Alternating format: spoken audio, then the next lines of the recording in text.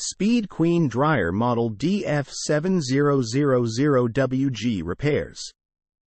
Speed Queen DF7000WG 27 inch gas dryer with 7 cubic feet capacity, 7 preset cycles, 4 automatic dry cycles, 4 temperature settings, moisture sensor, and eco cycle in white. Repairs. For the home, kitchen, and beyond, Speed Queen manufactures appliances that homeowners have come to trust. Even a trustworthy appliance requires occasional maintenance or repair, however. If you're in need of Speed Queen appliance repair from experienced professionals, your local appliance helper can help. Speed Queen dryer won't start. Thermal fuse. The thermal fuse is a safety device designed to protect the dryer from overheating. The fuse is located on the blower housing or at the dryer's heat source, such as the heating element on electric dryers or at the burner on gas models. The fuse should be closed for continuity, meaning it has a continuous electrical path through it when good. If overheated, the fuse will have no continuity, meaning the electrical path is broken and the fuse has blown.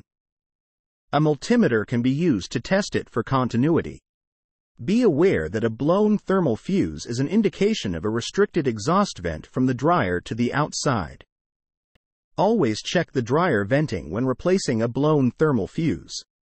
Speed Queen dryer stopped spinning. Drive belt.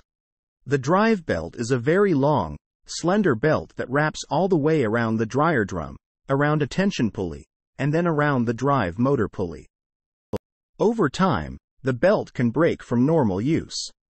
If the belt is broken, the dryer won't turn. To quickly determine if the belt is broken, reach into the dryer and turn the drum by hand. If the drum spins very easily, the belt is likely broken. Next, inspect the belt to confirm that it is broken. If the belt is broken, replace it. Speed Queen dryer drum not turning. Drive belt. The drive belt is a very long, slender belt that wraps all the way around the dryer drum, around a tension pulley, and then around the drive motor pulley. Over time, the belt can break from normal use. If the belt is broken, the dryer won't turn. To quickly determine if the belt is broken, reach into the dryer and turn the drum by hand. If the drum spins very easily, the belt is likely broken. Next, inspect the belt to confirm that it is broken. If the belt is broken, replace it. Speed Queen dryer takes too long. Airflow problem.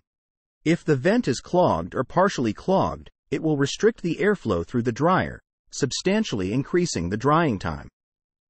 To ensure proper dryer performance, you should clean your dryer's venting system at least once per year. Speed Queen dryer overheating. Heating element. The heating element warms the air before the air enters the dryer drum.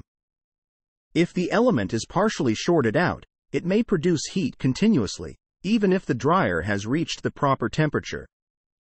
When this happens, the dryer gets too hot. To determine if the heating element is at fault, use a multimeter to test each terminal for continuity to the case. If the heating element has continuity to the case, it is shorted out. If the heating element is shorted out, replace it. Speed Queen dryer won't stop. Airflow problem. If the vent is clogged or partially clogged, it will restrict the airflow through the dryer, substantially increasing the drying time. To ensure proper dryer performance, you should clean your dryer's venting system at least once per year. Speed Queen dryer not heating. Thermal fuse. The thermal fuse is a safety device designed to protect the dryer from overheating. The fuse is located on the blower housing or at the dryer's heat source, such as the heating element on electric dryers or at the burner on gas models. The fuse should be closed for continuity, meaning it has a continuous electrical path through it when good. If overheated, the fuse will have no continuity, meaning the electrical path is broken and the fuse has blown. A multimeter can be used to test it for continuity. Be aware that a blown thermal fuse is an indication of a restricted exhaust vent from the dryer to the outside. Always check the dryer venting when replacing a blown thermal fuse. Speed Queen Dryer Tripping Breaker. The circuit breaker is weak. Over time, circuit breakers can weaken. If the circuit breaker is weak, it may trip too often, even if the amperage draw is below the limit. If you have already checked all of the potentially defective dryer components, consider having an electrician replace the circuit breaker. Speed Queen dryer makes noise. Drive belt.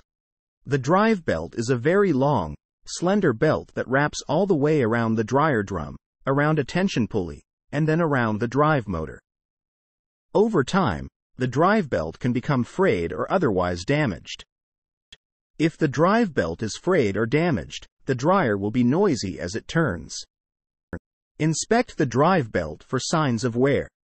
If the drive belt is worn, replace it.